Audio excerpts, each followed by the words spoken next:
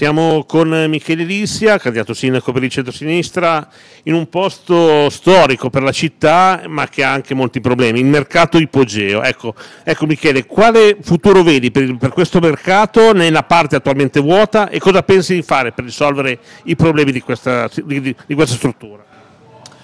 Ma allora, secondo me questo mercato, secondo me e secondo la coalizione, questo mercato ha un valore ed ha un valore di due tipi, un valore commerciale e un valore sociale. Uno anzitutto perché consente alle persone di avere dei servizi di prossimità, che sono anche la possibilità di acquistare vicino casa, quindi questo per certi versi va incontro alle esigenze di tanti cittadini che abitano qui intorno e che quindi vogliamo in qualche modo assecondare. E sociale anche perché ci sono delle attività che costituiscono un ritrovo per le persone, che quindi vengono qua, si incontrano e noi premiamo molto affinché la città diciamo, preservi questo aspetto di socialità. Ci sono persone anziane, persone meno anziane che comunque qui hanno dei punti di riferimento e che intendono conservarli. Per quanto riguarda il futuro, a parte i lavori che stanno facendo che per quanto mi riguarda non sono chiari e non sono chiari neanche i progetti futuri, cioè cosa si vorrà fare con questi lavori. Siccome questa chiarezza per noi non c'è, vorremmo prendere, mettere mano alle carte e cercare di capire come contemperare bene le esigenze, perché se c'è questo progetto che mette insieme socialità da un lato e aspetti commerciali dall'altro, è bene portarlo avanti, soprattutto consultando le persone che lavorano da un lato la cooperativa, dall'altro i cittadini e che danno lavoro, occupazione e soprattutto sicurezza sociale alle persone che lo frequentano. Ecco, per quanto riguarda la mobilità in centro storico, si parla spesso di togliere gli autobus da strada nuova, ma questo potrebbe penalizzare gli anziani. Oppure si è parlato anche di utilizzare mezzi più piccoli ed elettrici. Qual è la tua idea? Allora, sugli aspetti di mobilità, anche per non eh, improvvisarsi esperti, ingegneri dei trasporti, eccetera, Ciò che ritengo opportuno fare immediatamente è avviare uno studio di mobilità perché l'ultimo piano urbano del traffico è stato approvato, se non sbaglio, nel 1998. C'era ancora eh, la giunta albergati, anzi c'era la prima giunta albergati e l'assessore all'epoca della mobilità era Daniele Bosone. Questo per dirvi che sono passate ere geologiche. Che cosa ci interessa fare? Ci interessa commissionare subito un piano per cercare di capire quali sono i flussi in città, quali sono i carichi viabilistici e quali sono le zone della città che si sono densificate, che quindi hanno più residenti e che pertanto hanno bisogno di nuove esigenze di trasporto pubblico, per esempio.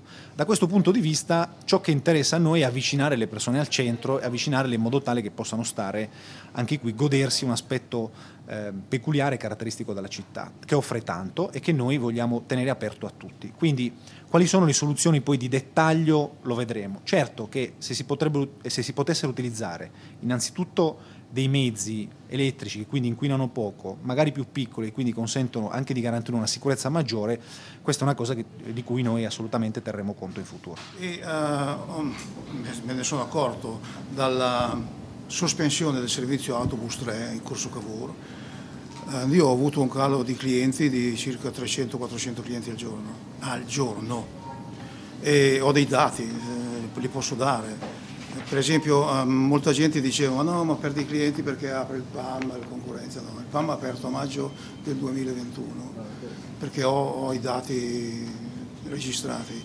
uh, mentre um, l'autobus è stato tolto nell'estate del 2016.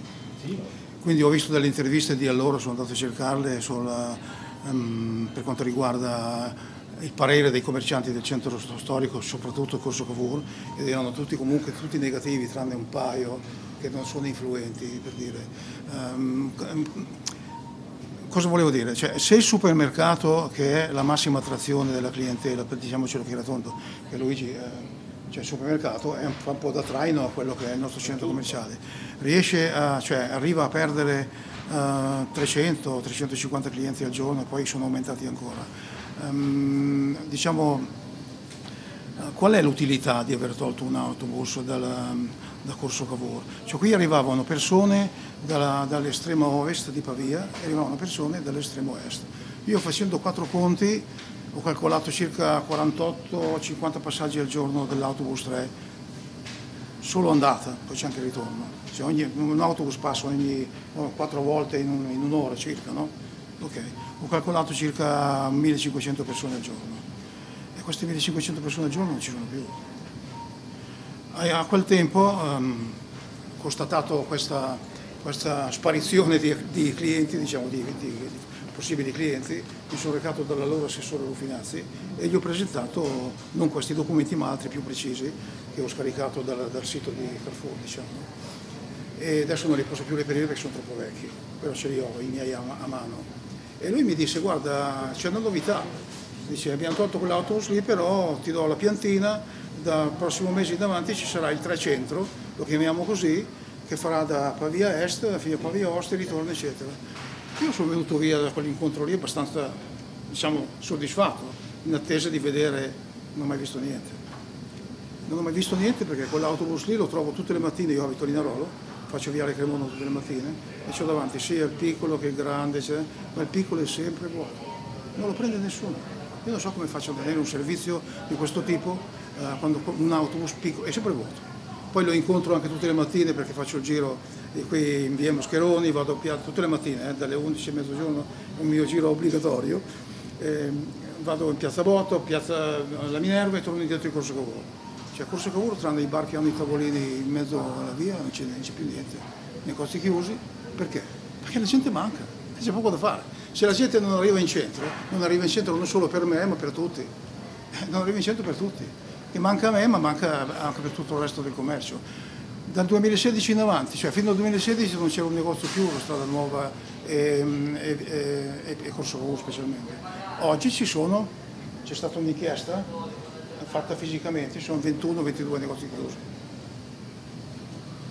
E la domanda qual è? E la domanda è... Eh... Possiamo rimettere il 3, è difficile. Cioè il 3 grosso in centro non credo allora, si possa riaprire. Il 3 grosso d'accordo, però io non ho mai visto l'autobus 3 prendere sotto una persona, vivo a Pavia da, faccio commerciante qui a Pavia da 50 anni, visto. ho visto delle biciclette cadere davanti ai negozi, ah, ho visto qualcuno tagliarsi la faccia cadendo per terra con le biciclette in mezzo alla gente, però autobus non ho mai fatto quei danni lì. Per cui io non sono un tecnico di quel settore, posso solo dire che in centro, oggi come oggi, siamo quasi al fallimento io devo dire la verità, un altro dato, lo dicevo prima al signore, eh, nel mio punto vendita qui in piazza lavoravano 12 persone, tranne me, scuso me, ed adesso sono in 9. Eh, sono in 9. E eh, posso dire che io mi salvo perché avendo 8 dipendenti c'è meno lavoro, meno dipendenti, tiro avanti, tiro avanti, ma è una delusione ma tiro avanti. Ma prendiamo un negozio qualsiasi, perché chiudono? C'è dentro la famiglia, marito, moglie, oppure che ne so, un titolare con un commesso, quello chiude. Eh, c'è poco da fare. Ma allora, escludo onestamente che sia possibile rimettere un autobus grosso di 12 metri in una zona così perché è diventata una zona pedonale, probabilmente lo sarebbe diventata pian piano perché le grandi città, le città medie come Pavia hanno la tendenza poi a pedonalizzare il centro. La cosa secondo me che si può fare è cercare di capire perché, se è così, monitorando i carichi anche delle persone per cercare di capire perché il 300 non carica abbastanza persone che poi arrivano in centro. Questa è la cosa che si può fare.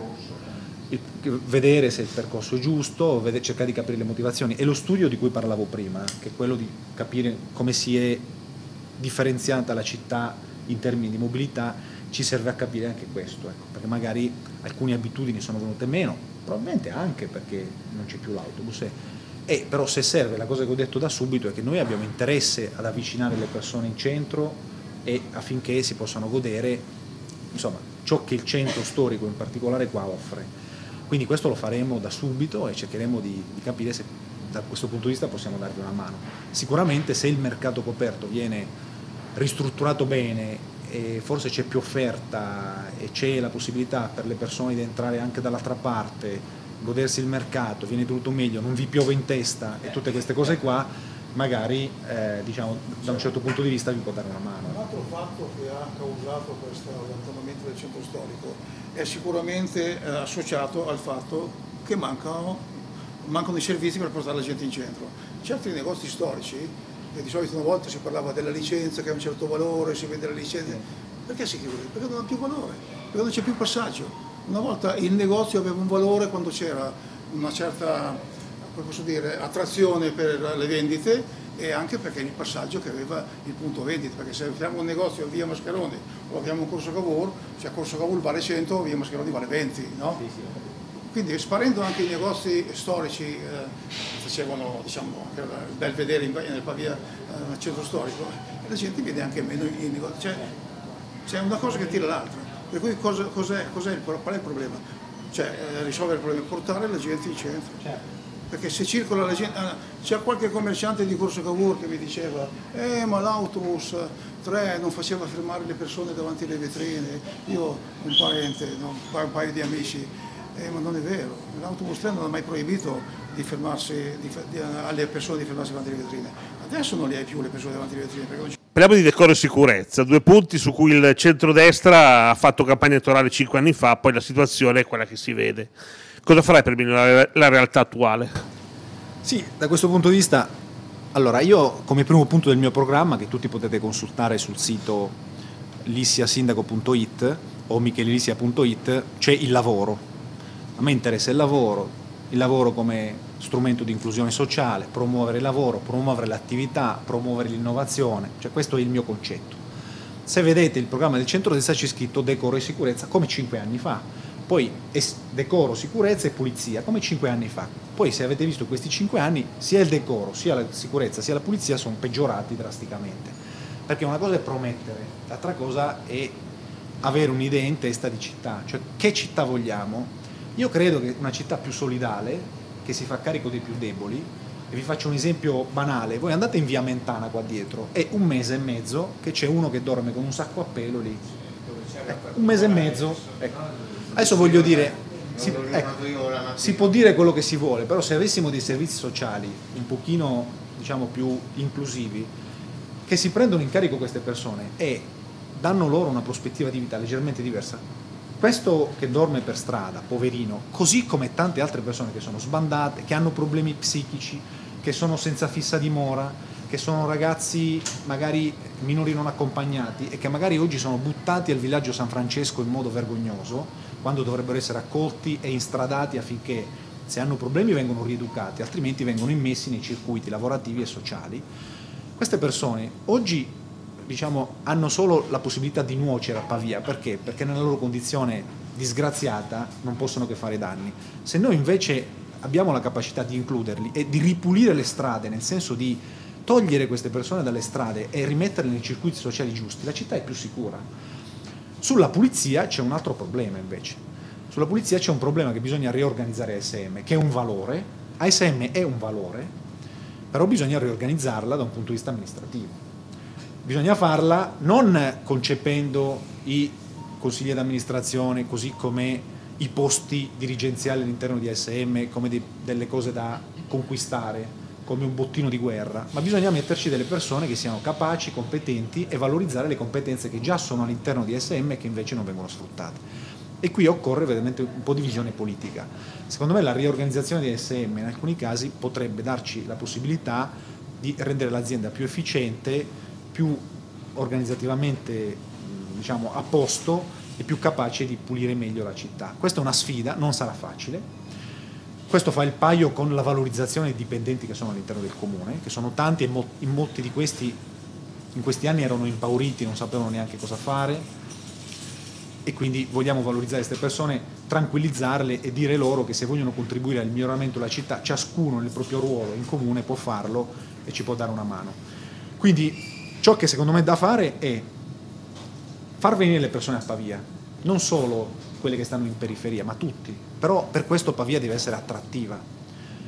Sapete che negli ultimi due anni non c'è stato un assessore alla cultura, non c'era una mostra, non c'era niente, se non qualche mostra anche piccola ma interessante qua. Ecco. Quindi la cultura, il turismo sono tru- tutti temi trascuratissimi da questa amministrazione e le persone vengono a Pavia se c'è qualcosa di interessante, poi vengono qua, magari scendono le scale, se promuoviamo bene come comune anche il sottomercato, perché se, come vi dicevo per noi è un valore, magari scendono, se lo ricordano, ritornano una prossima volta, eccetera, eccetera. Se noi invece non attraiamo nessuno a Pavia, se non magari a vedere una volta ogni anno per un giorno la partenza di una corsa molto bella come la Milano Sanremo, però che dura una giornata, cioè Pavia deve avere tutte le settimane qualcosa da offrire alle persone in modo tale che le persone vengano a Pavia e ne apprezzino la bellezza. E qui bisogna fare percorsi turistici decenti, eh, bisogna eh, cercare di mettere in rete i musei che ci sono e che nessuno frequenta. Sapete che io ho chiesto se esiste la possibilità di avere un biglietto unico per tutti i musei, l'ho chiesto all'università, l'università ce l'ha. Ho chiesto al comune, il comune non ce l'ha.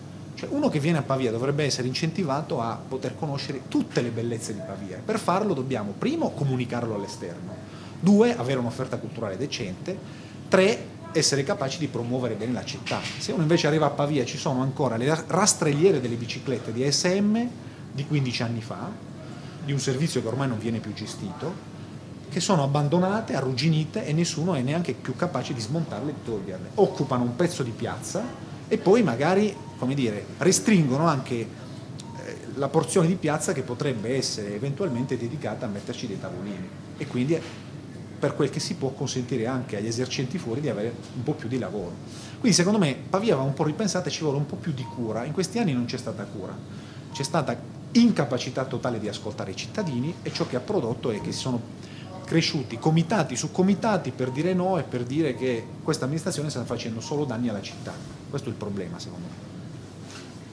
Passiamo un attimo appunto alle tasse sul commercio. Nel 2015 c'è stato un sensibile aumento della Tari che ha penalizzato molto i commercianti pavesi. Se sarai sindaco, cosa pensi di fare? Allora, ci sono alcune tariffe della Tari che vengono in qualche modo eh, registrate in termini di, eh, diciamo di, di, ampiezza e di, di entità eh, sulla base eh, dei provvedimenti che vengono assunti da Arera e quindi su alcune cose si può fare, eh, si può incidere poco, su altre invece rendendo efficiente di più l'amministrazione, in particolare ASM che è un'articolazione funzionale dell'amministrazione, cioè ASM non è un contropotere per cui ci, va, ci arriva uno della lomellina che comanda e decide di fare quello che vuole. ASM è un'azienda che è un braccio operativo del comune e che deve funzionare e possibilmente non deve essere quello che è successo prima nel 2015 e poi purtroppo adesso. Nel 2015 è stato arrestato una persona che aveva rubato un milione di euro è stato condannato a sei anni di carcere e ha dovuto restituire un milione di euro. E questa persona era candidato sindaco per la Lega nel 2000, perché non se lo ricordasse, chiaro? Nel 2023, cioè poco tempo fa, un altro scandalo. Noi siamo garantisti e aspetteremo l'esito dei processi, però come sapete Intanto una persona è stata arrestata e alcuni sono stati indagati e sono sempre della stessa parte politica. Ha voglia che Rigano o il precedente management si mettano lì a sistemare di nuovo SM e cercare di darle un, diciamo, eh, una caratterizzazione di lavoro nel solco della legalità. ASM deve continuare a lavorare nel solco della legalità e soprattutto essere organizzata in modo che non sia, come vi dicevo prima, un luogo in cui ciascuno può fare quello che vuole, ma deve rispondere agli indirizzi e alle direttive del Comune di Pavia, che come sapete detiene oltre il 95% delle quote. Quindi, secondo me, l'aspetto fondamentale è che sulla Tari si può lavorare soprattutto se si rende un servizio più efficiente che costa meno e quindi impiega meno risorse. E vi faccio un esempio banale, un esempio banale di cui ho parlato e parlo anche nelle periferie. Secondo me la tassa sullo sfalcio, per cui si danno i contenitori, si fa pagare 100 euro alle persone che curano il verde, è una boiata pazzesca, perché chi contribuisce a curare la città, cioè coltiva un albero, la siepe, eccetera, dovrebbe essere incentivato a farlo, non pagare eh, ecco, pagare 100 euro per ritirare il verde. Allora mettiamoci dei cassettoni intelligenti con i sensori, uno in ogni quartiere, e ognuno va lì a riversare il proprio verde senza bisogno di andare né a Montebellino né senza bisogno di nascondersi e magari scaricarlo sul lato della strada. Anche lì, secondo me, cioè bisogna far partecipare i cittadini a rendere Pavia più bella. Sapete qual è la controindicazione di ciò che è successo facendo pagare 100 euro a tante persone per avere un contenitore per il verde, che tanti hanno tolto l'erba e ci hanno messo l'erba sintetica, perché hanno detto così almeno non la taglio. Ma l'erba sintetica migliora la qualità della vita in città? No, fa riscaldare di più la città d'estate e fa schifo d'inverno. Questa è la verità. Quindi secondo me bisogna avere insomma, l'intelligenza di dire, cari cittadini, facciamo un patto, noi non vi freghiamo, cioè noi amministrazione vi veniamo incontro, voi dateci una mano a rendere la Pavia più bella e questo discorso va fatto con i cittadini, con le imprese, con le aziende, con i commercianti, con la partecipazione, partecipazione che in questi anni come sapete non c'è stata. Ecco, parliamo proprio di turismo, cultura, che hanno un legame stretto con il commercio. Se sarai il sindaco, cosa intendi, cosa intendi fare per rilanciare questi punti fondamentali per l'economia della città, finiti soprattutto la cultura, per cui tu hai recentemente anticipato l'intenzione di quadruplicare il budget, in secondo piano con questa amministrazione?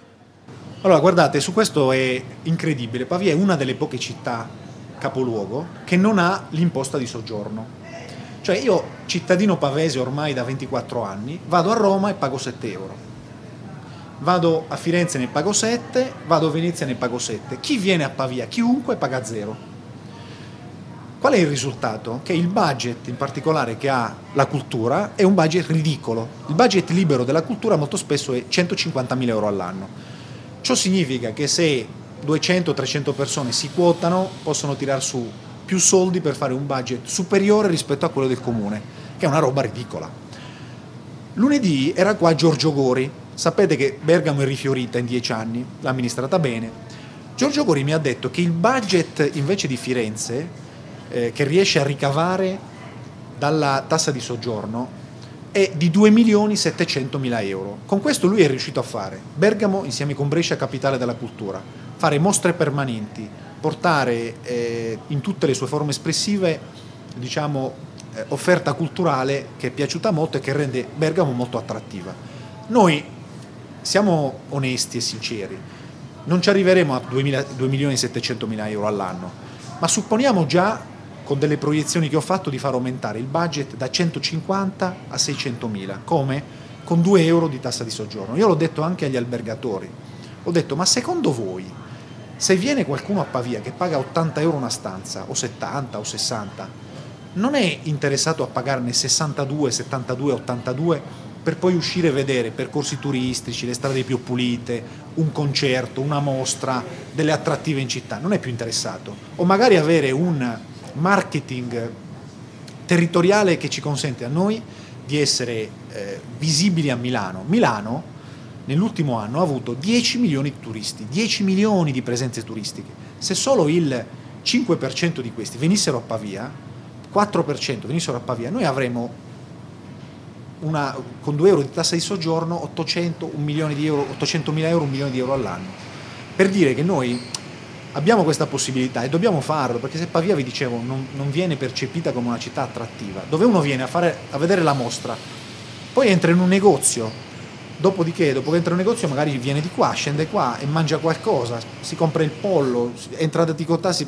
ecco, dico delle cose per dirvi che dove c'è gente, dove c'è attrattività, c'è lavoro, c'è interesse, c'è, ecco, in qualche modo c'è anche sicurezza, perché più c'è partecipazione, più c'è presenza di persone, soprattutto di notte, quando voi passate ci sono delle vetrine chiuse, quello è l'indice peggiore di come sta diciamo, eh, tornando indietro l'aspetto della sicurezza. Questo è l'aspetto. Quindi noi dobbiamo creare occasioni, occasioni, opportunità, occasioni di crescita in città e soprattutto, questo ve lo dico perché fa un po' il paio con, con la sicurezza, dove c'è cultura e c'è aggregazione per i giovani, eh, per le persone e dove c'è sport, anche qui c'è aggregazione, ci sono meno sbandati, ci sono meno persone che hanno interesse a bighellonare perché sono coinvolti in un progetto di città hanno l'idea di essere inclusi, di contare qualcosa. E così vale in, in tutti gli ambiti della vita. Chiudo dicendovi questo. Noi abbiamo un'idea, e ve la dico qua, anche sul PGT, la nostra idea di preservare Pavia, perché Pavia ha questa caratterizzazione naturalistica che la differenzia rispetto a Milano. Pavia abbiamo il fiume, abbiamo tante aree verdi, tanti polmoni verdi che vanno manutenuti, eh?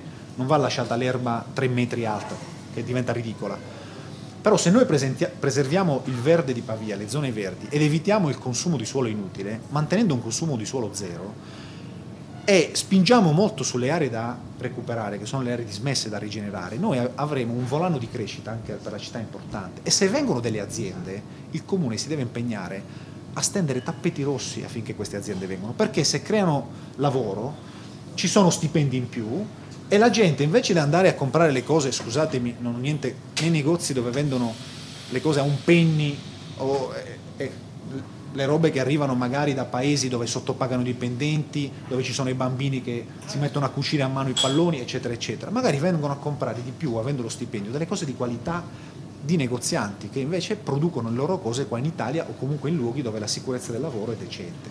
Quindi noi scommettiamo molto sul lavoro, sulla cultura, sull'inclusione sociale e naturalmente sullo sport. E per qualsiasi cosa insomma restiamo a disposizione. Un punto sulla sicurezza diciamo, la devo fare perché con un punto vendita come il nostro dove entrano persone di ogni situazione ehm, va fatto un controllo molto più severo nel centro storico perché ci sono uh, gruppi di ragazzi e anche non ragazzi che si divertono a venire giù a rubare. E questi personaggi qui stazionano qua sopra. Cioè non è che uno viene dal borgo certo. e viene qui per rubarmi da Coca-Cola o viene qui per rubarmi un pacchetto di, di, di, di caramelle. Ma ieri mattina abbiamo toppato un tizio che aveva 40 euro di tonno nella borsa.